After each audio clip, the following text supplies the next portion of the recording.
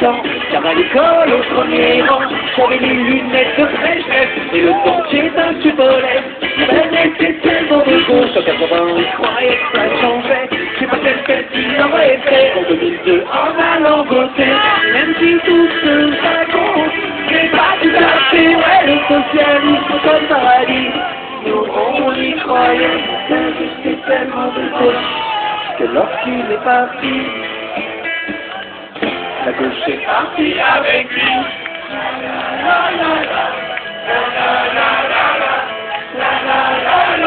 La gauche est partie avec lui. Bon, avec quoi d'en venir la gauche, c'est sûr Ou avec,